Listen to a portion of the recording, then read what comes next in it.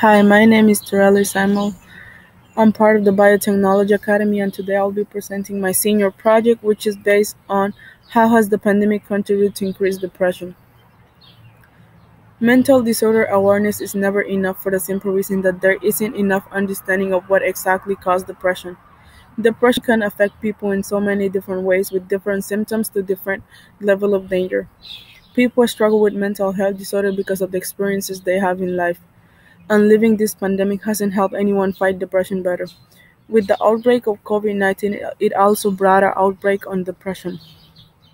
COVID-19 caused everyone to isolate themselves for their own safety, but this only contributed to people feeling more hopeless and more depressed. The understanding of different types of depression is important. And the understanding of depression is very important because depression is an illness that affects everyone in many different ways. According to many articles, there is exactly seven different types of depression, and some, some of them are major depression, persistent depressive disorder, bipolar disorder, and seasonal affective disorder.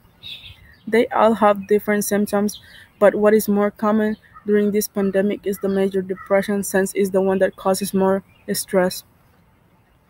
With the isolation, people did not have much to do, and with all the news all over the world of people dying only caused more stress and fear on people. In middle of this pandemic, society start rising mental health awareness because what we are all going through is a lot to handle. There is never a good reason for someone to be depressed, but it's understandable in this situation since we're living a pandemic. This pandemic has brought sorrow to everyone's life, from losing jobs to losing people we love. People know that the lockdown was to protect ourselves from this deadly virus. But do we even know what this lockdown has done to us? Parents are worried because the lockdown is causing job loss, which is associated with increase in depression, anxiety, and low self-esteem. It's proven that women with children is more likely to report symptoms of depression.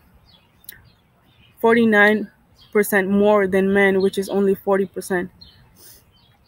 COVID 19 has affected everyone, but mostly women with kids because of the responsibilities they have, and not only because they have they need a job to be responsible of their kids, because they also have to make sure that their kids are attending classes and everything else. The long term term effects of COVID-19 depression. The depression that came along with COVID-19 will will affect people long term because it will not be easy for people to recover from such trauma in a short period of time.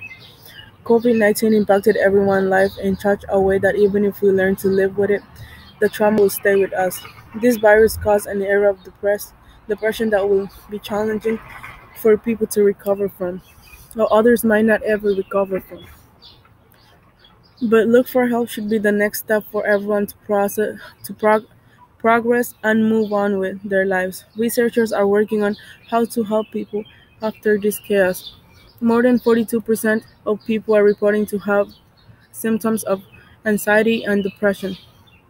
It will be challenging to provide help for all those people, but the idea is to pro- progress together to fight depression. It's obvious that providing help to everyone will be challenging, which is why raising mental health awareness is really important. Well, that concludes my presentation. Uh, take a minute to thank my teacher for all the support and thank my friend Kadesh for motivating me. And at last, I would like to thank myself for not giving up. And thank you for your time. Appreciate it. Bye.